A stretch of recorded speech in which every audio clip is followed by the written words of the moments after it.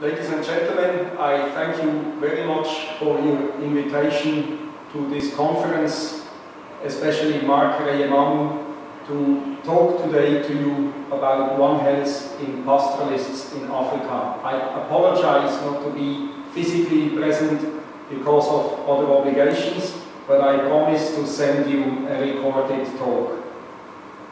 I will talk to you about One Health in pastoralists in Africa and in, include uh, latest findings we had uh, by Vreni Jean-Richard, uh, PhD student who just finishes her work.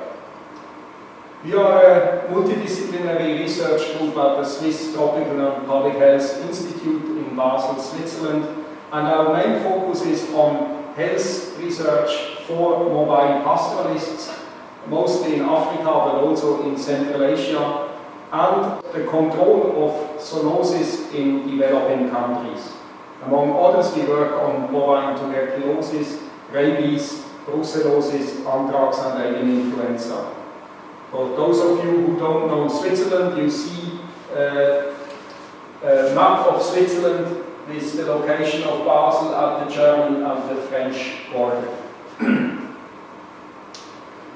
we are part of larger networks. One of them is the National Center for Competence of Research North-South, which is funded by the Swiss Development Corporation and the Swiss National Science Foundation, we are also part of ICONZ Integrated Control of Neglected Zoonosis in Africa, funded by the European Union, and the Af Afrique One Capacity Building Network, funded by the Wellcome Trust. You see here some of our study locations on the Horn of Africa, West and Central Africa, Central Asia and Southeast Asia, mainly Vietnam. Today I will talk essentially about our experience in Africa. I claim that uh, One Health has actually African origins and we will discuss what we mean about One Health. We will try to give you uh, necessary and sufficient components I will talk about human-animal linkages in zoonosis in Chad and Ethiopia. I will then talk about joint human and animal health vaccination campaigns for mobile pastoralists in Chad. And then we will discuss together how to establish vaccination coverage in mobile pastoralist communities and discuss also how to develop a mobile demographic health and uh, health and demographic surveillance system. Finally, I will give an outlook on what could be done with these new methods using modern communication technology for telemedicine and integrated community-based surveillance, but also interventions. The term one medicine was coined by Calvin Schwabe based on his working experience with Dinka pastoralists in southern Sudan in the 1960s. Basically, he states that there is no difference in paradigm between human and animal health in the foundational sciences like anatomy, uh, physiology, and pathology. so you see, uh, Calvin Schwabe was, in, uh, was influenced by his experience in Africa to come up with the idea of a closer cooperation between human and animal health. So, but what does it mean? Many, many people talk about One Health and there is confusion. We try to make it simple. We would argue that there is a necessary requirement if we speak about One Health. This is the recognition of the inextricable linkage of human and animal health and the way how humans, livestock, companion animals and livestock uh, interact. But it is not sufficient. If we want to claim that some work is done under a One Health paradigm, we really need to show added value of health and well-being of humans and or animals and or financial savings from this closer cooperation. Doctors and veterinarians can each work in their corner and produce some healthier animals, some healthier people. But what we want to show with One Health is that we can create more health and save money from joint interventions, for example, to improve the health of humans and animals simultaneously. We want to destroy the barriers between the two healths uh, of humans and animals to show that it makes sense that we work closer together. So whatever we do about One Health should show such added value. One way to study that is clearly to create mixed teams of doctors and veterinarians. We included also anthropologists and microbiologists. Here you see the, the study team uh, which was driven by Esther Schelling during her PhD studies on mobile pastoralists in Chad. Some of her earliest findings were from studying animal and human uh, zoonosis in the same time, that human brucellosis depended much more on the cattle prevalence and not on small ruminants, and being a camel breeder was significantly related uh, with Q fever seropositivity. So it is likely that there is a pressure of transmission of Q fever from camels in that study setting in Chad.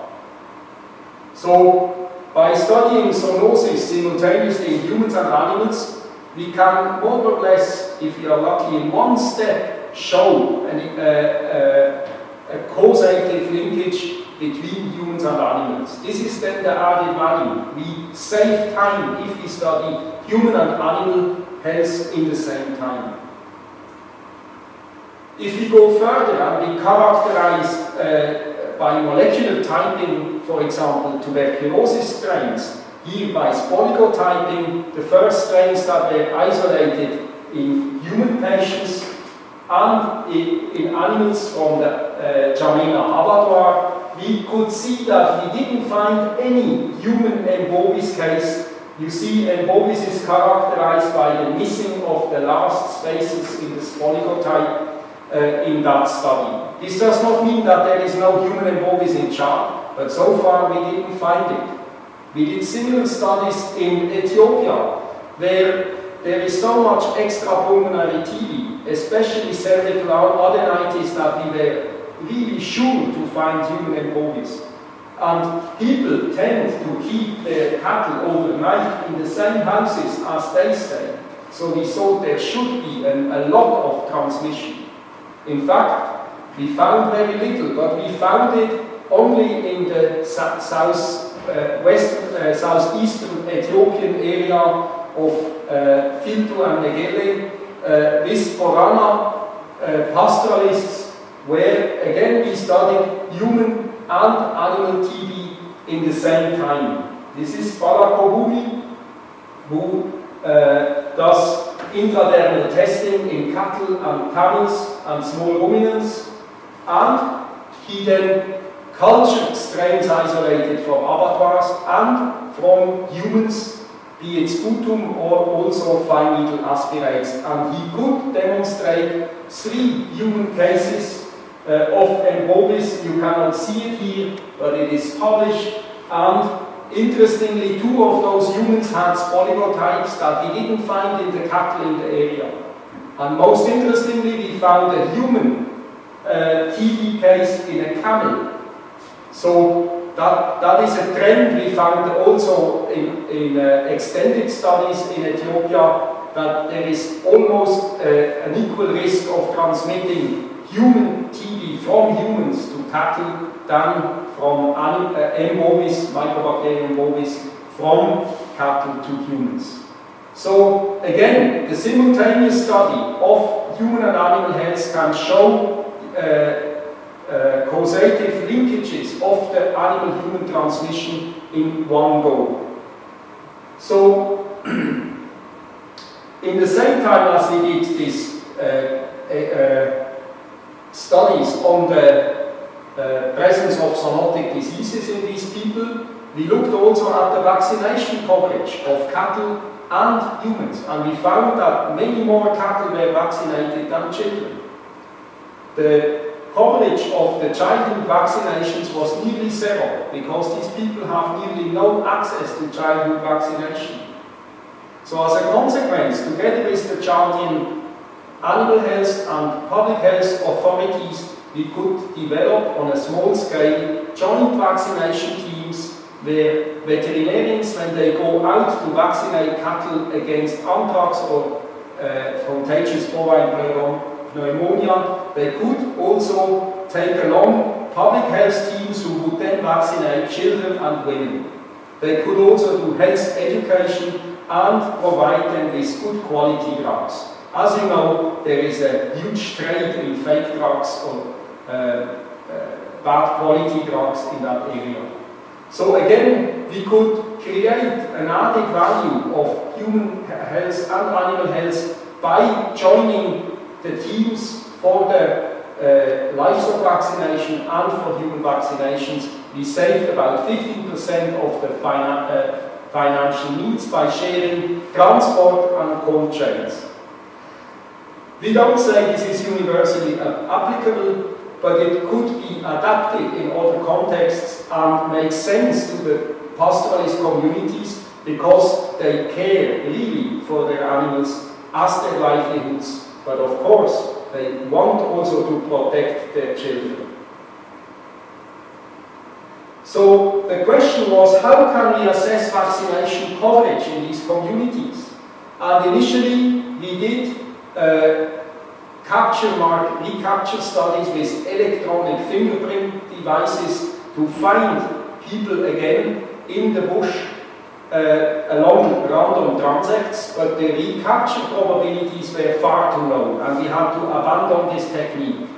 But in the last 10 years, you know better than me, there has taken place the cell phone revolution in Africa and today most of the pastoralists have also cell phones even the women.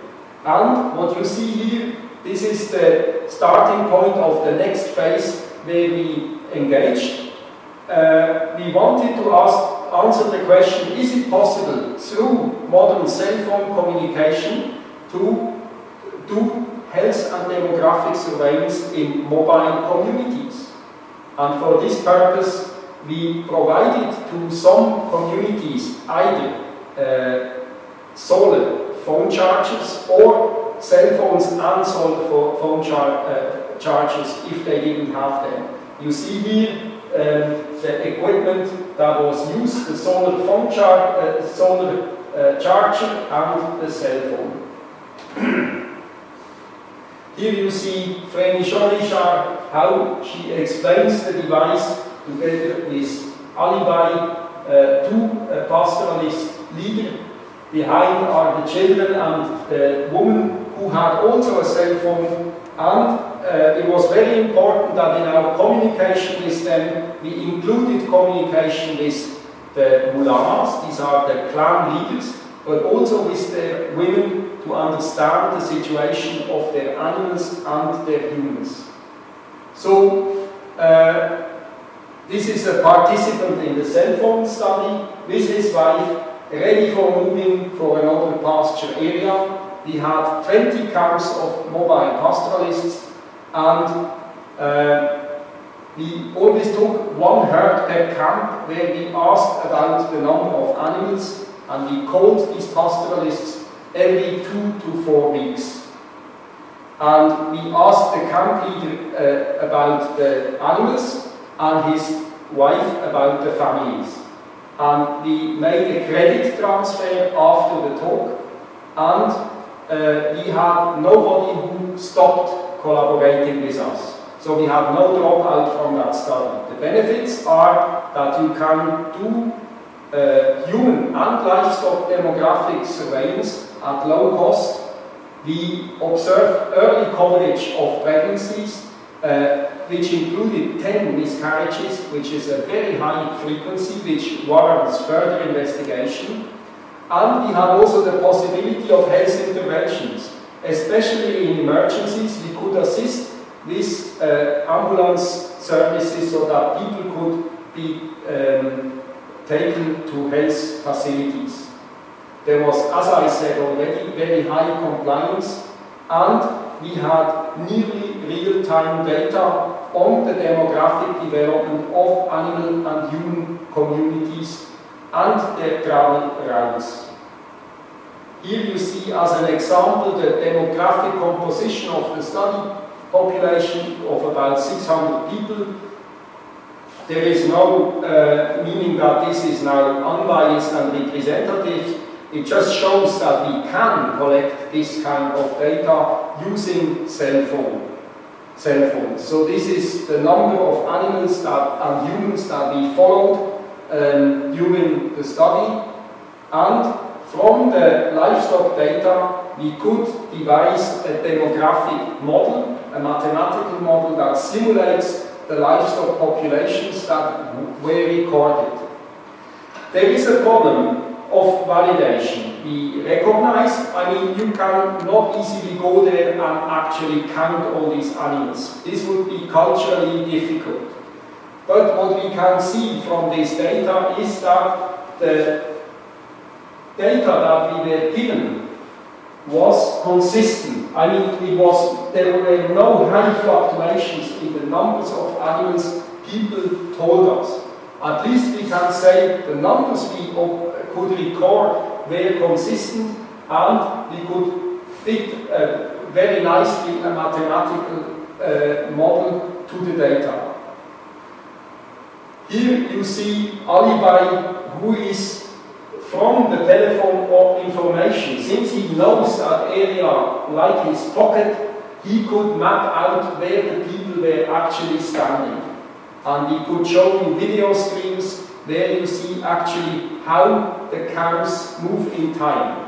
For example, for Fulani cows, there is a clear movement out of the lake area uh, in the beginning of the rains. They move out and they come back at the end of the rainy seasons to use the available fodder in the shore area of Lake Chad. You see here uh, an example of the mapping of, of the spatial distribution of uh, Fulani community. All this is uh, in preparation for publication by Vreni Jean-Richard. But it shows you that the today uh, availability of cell phones and mobile communication uh, opens a total new area, era of opportunities for uh, health and demographic surveillance of humans and animals, of course, but we could also strengthen social services through that. Uh, even schooling could be uh, involved, and definitely birth and death registration. We could also uh, work towards human and animal health interventions, uh, for example, responding to disease outbreaks, but also for, for the planning of vaccination interventions. We could engage into telemedicine, and of course, we could also collect environmental data, for example, bushfires or during droughts, if wells are in good shape and so on, or even floods and we could also uh, quickly record information, for example, about locusts and pasture quality. We could also, of course, collect economic indicators and, uh, for example, prices of food, milk, animals, which indicate also uh, looming crisis of food security, for example. And uh, this would help uh, as early warning systems for uh, humanitarian crisis, for example. So there are many, many other possible building blocks to use this kind of system, and we are currently planning the scaling up by a factor of 10 or 100 of this system to show that mobile demographic surveillance is effective through mobile communication. As I mentioned earlier, we also work very much with social scientists and anthropologists or cultural scientists. Here is just one example of a study on the women's health practices in Kel Tamashek people, uh, 100 kilometers north of Timbuktu. This is an area which is currently not accessible because of the uh, crisis you are aware of. But the, find, the most important finding was that uh, to gather good data from such communities, you need a very close relationship of trust with them. Uh, the lady who did this study, she was fluent in Tamashek language and also Arabic language. She was a, a, adopted as a daughter of the clan because she could read the Quran in Arabic. And the women gave, them gave her information about their miscarriages and about their stillbirth. In parallel, we did a classical cross-sectional study uh, by a medical doctor who was a very empathic uh, person, Birama Diallo, uh, but who was not from the same ethnic group. And the information he could collect from these people uh, was much lower compared to what was collected by the cultural scientists. Here we show clearly that we touch a barrier, this classical epidemiology, in such communities. We need to collaborate very closely with cultural science to uh, have better information about their health perceptions and practices. Finally, this work cannot be done without very close interactions with the communities and the authorities. We continuously maintain stakeholder processes where the decision makers are there. For example, in this setting in Chad, this is the chief veterinary officer. In this setting, north of Timbuktu, these are the political authorities of that area. This is the chief medical officer of Timbuktu.